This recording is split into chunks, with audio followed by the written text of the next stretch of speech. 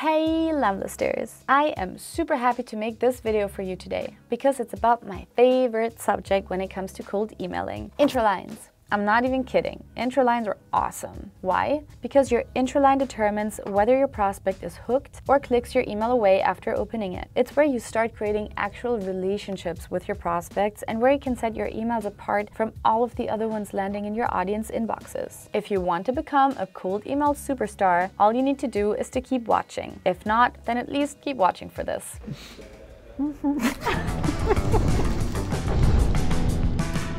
Let's get started by promising each other this. Repeat after me. Never, ever will I ever write this kind of email again. You might think, but why? It's personalized with first name and company name. Should be good, no? Simply throwing some variables in there isn't going to do the job though. Everyone does it. Want to know what happens when I receive this kind of email?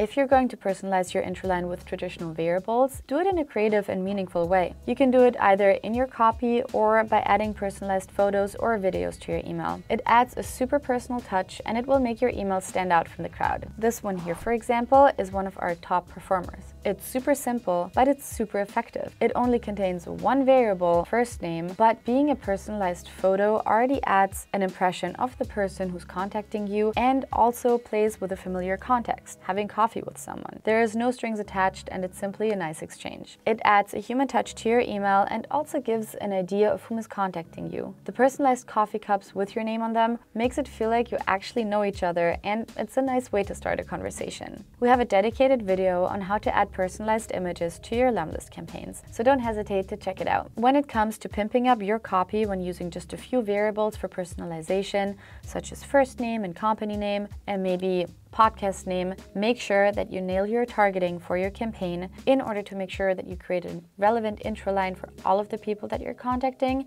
and that it still feels like a personal message. As you can see in this example, there's only three variables used until the pitch, but it is still super relevant for all of the people that are targeted with this campaign because the targeting has been done correctly. It also offers a really nice transition to the pitch, so it still feels super personalized. If you're in tech, you can also leverage tools like BuiltWith to find out what technologies each of the companies you're contacting uses. So for example, Shopify, Intercom, Google Analytics, all that you want to do is to go on BuiltWith and enter the name of the company that you're searching for in the search bar, click search, and then you will see all of the different technologies this company is using. I also included the link to BuiltWith in the description, so go ahead and check it out. If your company proposes a tech tool, for example, this can give you plenty of inspiration to create your intro line. Depending on the context of your campaign, you can craft a catchy and relevant intro line. For example, hey first name, I noticed that you're using Technology 1 and Technology 2 at company name.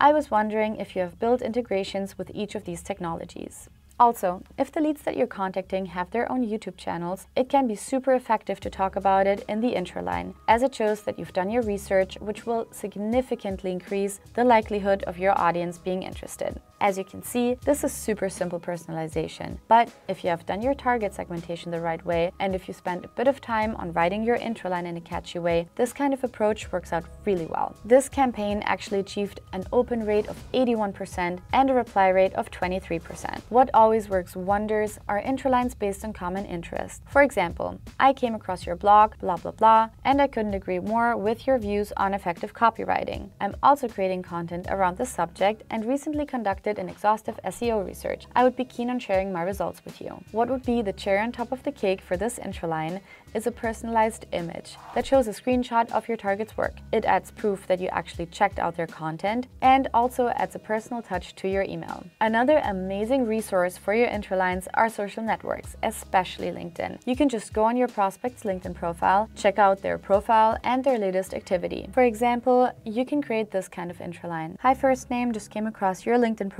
and I can see that you've worked as a job title at company name. Well done for your career. Simple but effective. Plus, the pitch is well connected to the intro line, so it feels like an actual personal email, despite minimal personalization. LinkedIn activity is also a goldmine for intro line material and will help shoot your reply rates all the way to the moon.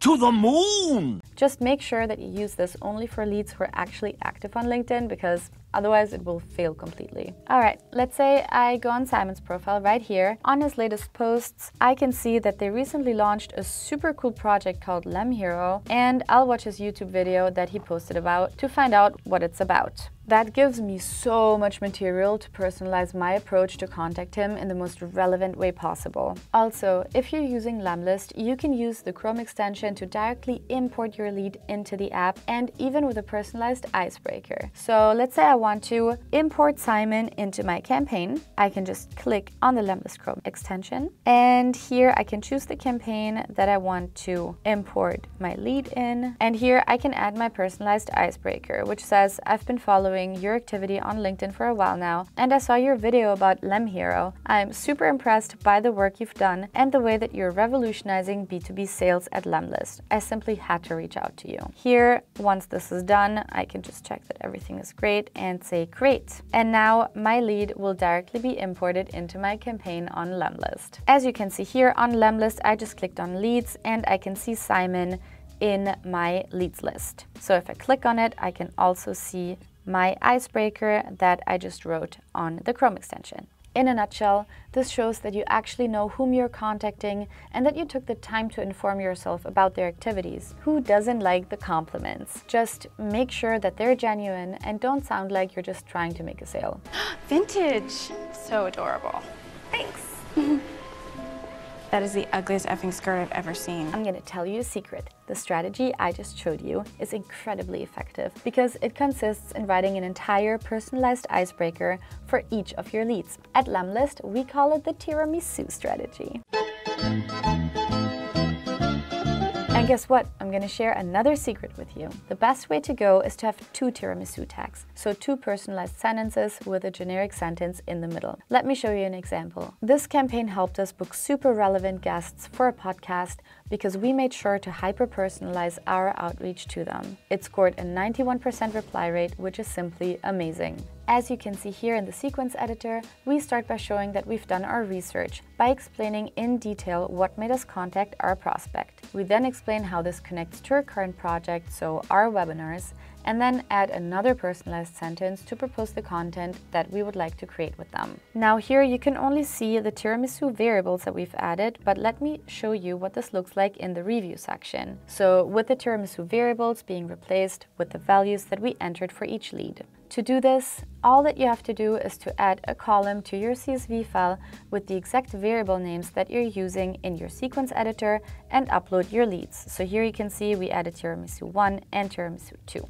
I replaced the actual leads with random examples for privacy reasons. However, I think that the compliment around my incredible swag is quite legit. Remember, you don't want to sell your product with your cold email. What you want to achieve with your cold emailing campaigns is to create a relationship with your prospects and to book a meeting. Meeting? Yeah, a meeting.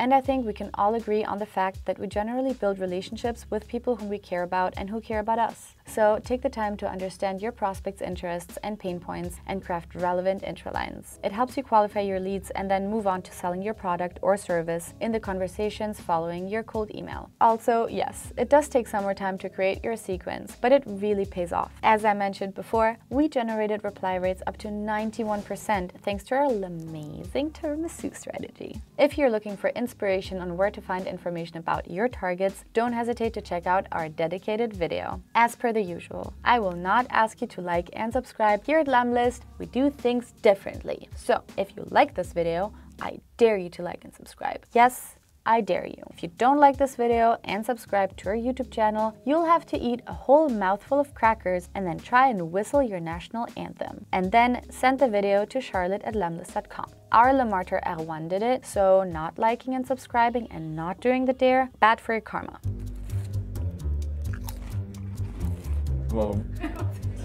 De fromage.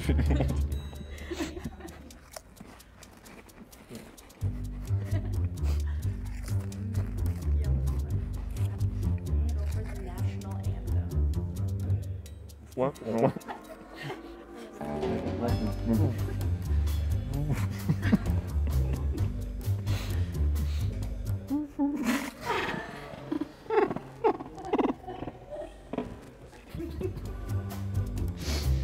bon.